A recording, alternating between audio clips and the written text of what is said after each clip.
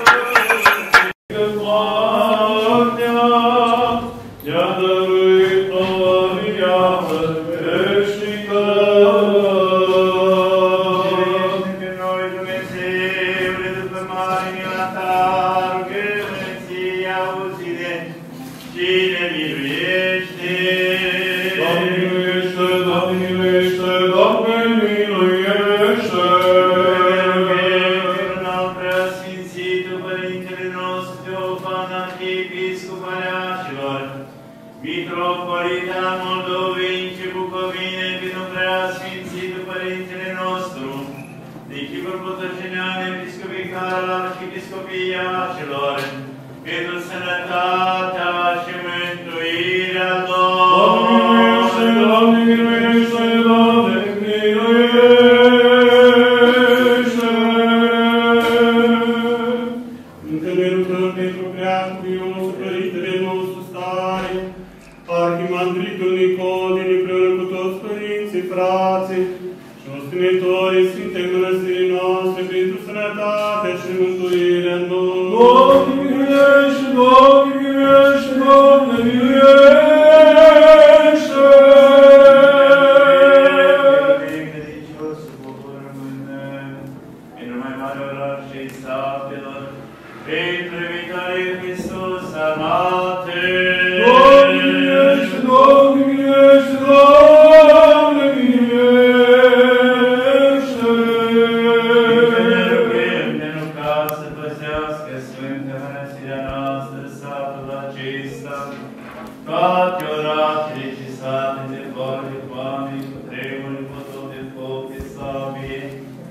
Năluia neam de război și între noi din camilor simplângele schietător să fie nou bun, iubitul Dumnezeu nostru să împrește toată mânia, care se pornește asupra noastră și să ne izbăvească pe la invasilor în cea dreaptă, care este asupra noastră și să ne miluiască pe Doamne noi. miluiește, Doamne miluiește, Doamne miluiește.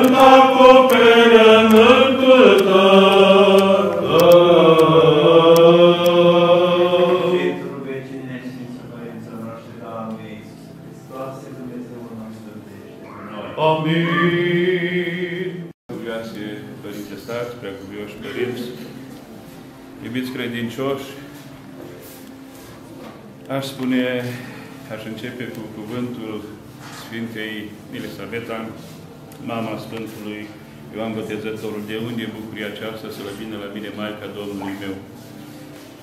Este bine cunoscut că aici, în dealul mare de, de la Hadembu, Maica Domnului este acasă a ea, cinstita și Sfânta Mănăstire, care găzduiește Sfânta sa icoană, prin care se revarsă daruri bogate și binecuvântate asupra norodului, care credință, cu, nevoi, cu nevoile lor, cu neputințele lor, Urșed a urca acest, acest deal mare, dar nu oricând, ci în special la zilele consemnate când o cinstim pe Preasfânta Născătoare Dumnezeu și Maica Domnului nostru, Fecioara Maria. Ea este, cum spun frumos, frumos cântările bisericești, este odorul cel neprețuit, este darul pământ nostru al omenirii dat lui Dumnezeu, pentru că este nepătata porumbiță, muntele cel uh, de neatins, pentru că Dumnezeu a binevoit ca prin ea să se reverse darul nenumărate asupra noastră. Prin ea se fac început, începutul mântuirii noastre. Prin ea se varsă milosivirea și iubirea milosivă a lui Dumnezeu. De aceea mi este greu să vorbesc uh, în această seară. Este prima oară când sunt martor la această slujbă și mulțumesc Părintele Stareț că mi-a îngăduit și m-a delegat să spun câteva cuvinte către dumneavoastră. Să o cinstiți pe Maica Domnului, să o aveți ca o mamă. Ea este mama noastră a tuturor. Și prin ea Dumnezeu Fiul își revarsă darurile sale asupra noastră. Să alergăm întotdeauna și în clipe de bucurie, și în clipe de tristețe, de supărare.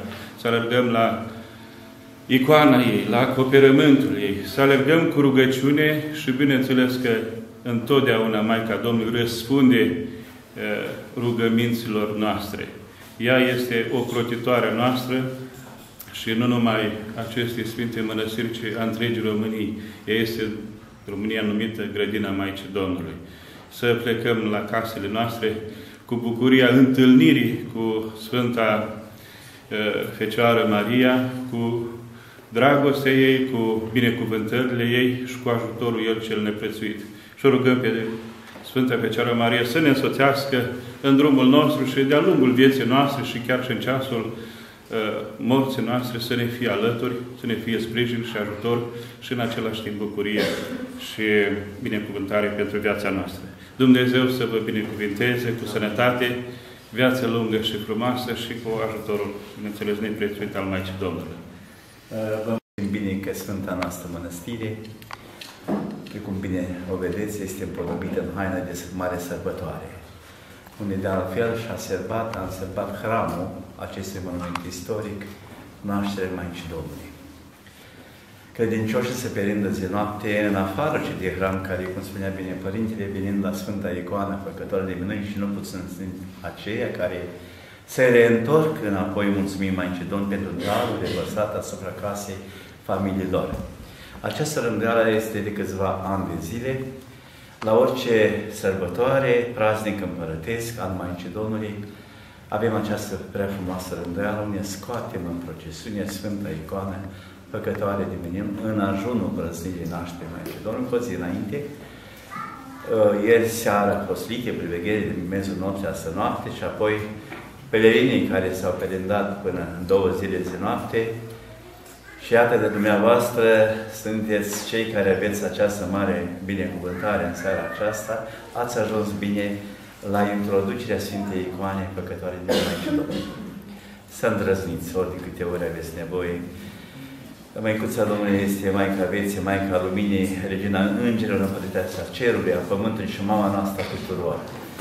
Am spus-o deseori, precum noi acasă, de mici copii, copii strigăm primul cuvânt mama, așa avem nevoie de Măicuța Domnului când suntem în încercări și suntem în încercări și în suferință, cu siguranță, dacă veți veni cu credință și miile de pelerini care părșesc pragul Sfintei noastre mănăstiri, nu degeaba s-au scos două volume și a treilea apare Bon Lavi, la Sfânta Icoană, păcătoarei mei Maicii Domnului din Dealul Mare.